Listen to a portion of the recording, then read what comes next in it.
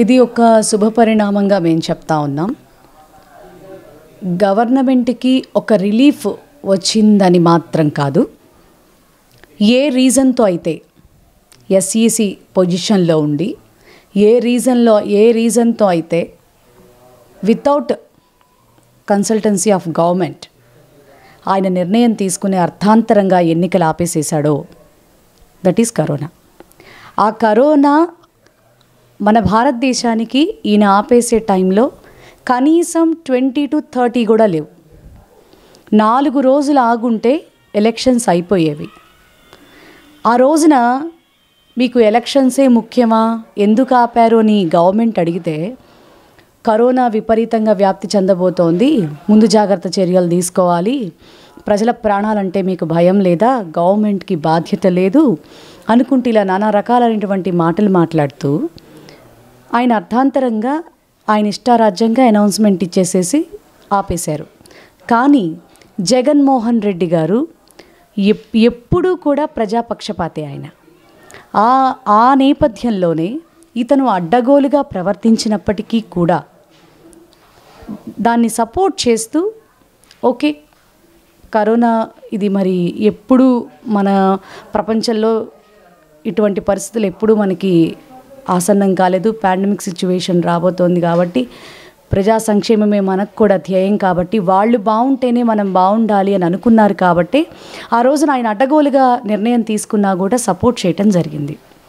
ఈ రోజున కొన్ని లక్షల మంది స్టిల్ బ్రిటన్ అమెరికా ఇలాంటి దేశాల్లో చచ్చిపోతున్నారు ప్రజలు.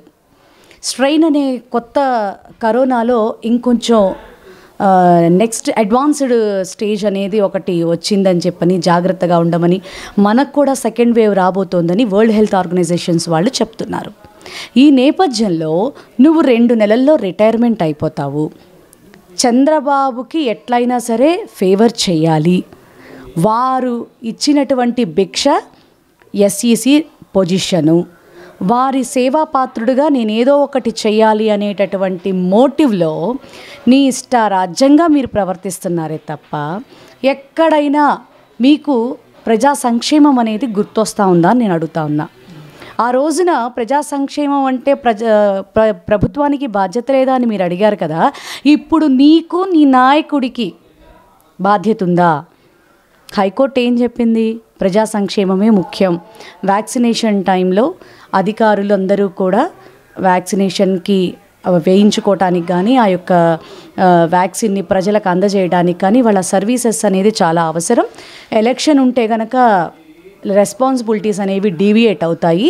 సో ఇప్పుడు మాత్రం ఎలక్షన్ అనే పేరుతో వ్యాక్సిన్ వేసే వేసే టైంలో మీరు ఇబ్బంది పెట్టద్దు. ఈ పంచాయతీ ఎలక్షన్స్ని మేము సస్పెండ్ చేస్తున్నామని వాళ్ళు ఎంతో బాధ్యతగా హైకోర్టు చాలా గొప్పగా తీర్పును వెలువరించింది. నిమ్మగడ్డ గారికి కుక్కకాటుకు చెప్పు దెబ్బ అన్నట్టుగా బాగా పర్ఫెక్ట్గా బుద్ధి చెప్పింది. ఆయన మళ్ళీ నిరంతర ప్రక్రియ అన్నట్టుగా కుక్కతోక ఎప్పుడూ వంకరే అన్న చందంగా మనకు ఒక సామెత ఉంది. వీరి బుద్ధి వీరి నాయకుడి బుద్ధి ఇరవై నాలుగు గంటలు స్టేలు తెచ్చుకోవడమే. వీళ్ళ హయాంలోనే ఇప్పుడు గవర్నమెంట్లో ఉండంగా విపరీతమైన చర్యలు చేశారంటే అప్పుడు ఇష్టారాజ్యంగా ప్రవర్తించారు. ప్రతిపక్షంగా ఉంటూ కూడా అసలు నిజంగా ఎక్కడైనా గ్యాగ్ ఆర్డర్లు తెచ్చుకోవడం మనం ఎక్కడైనా చూసామా ఇలాంటి విపరీతమైనటువంటి చర్యలన్నీ చేయగలిగినటువంటి దిట్ట చంద్రబాబు నాయుడు గారు మాత్రమే మరి ఆయనకి ప్ర ప్రజలంటే భయం భక్తి ఉన్నాయా? దేవుడు అంటే భయం భక్తి ఉన్నాయా? అసలు అవి రెండూ ఉండి ఆలోచిస్తే ఆయన ఇట్లాంటి పిచ్చి పిచ్చి ఆలోచనలు చేసి రాష్ట్రాన్ని అల్లకల్లోలం చేయాలని చూస్తాడా? దానికి ఎస్ఈసి స్థాయిలో ఉన్నటువంటి వ్యక్తిని ప్రభావితం చేస్తూ ఆయన ఇష్టారాజ్యంగా డ్రామాలు ఆడుతున్నాడంటే ఖచ్చితంగా వీళ్ళకి సరైనటువంటి గుణపాతం భగవంతుడు అనేవాడు ఖచ్చితంగా నేర్పుతాడు. ఈ వీడియో గనుక మీకు నచ్చినట్లయితే లైక్ చేయండి షేర్ చేయండి.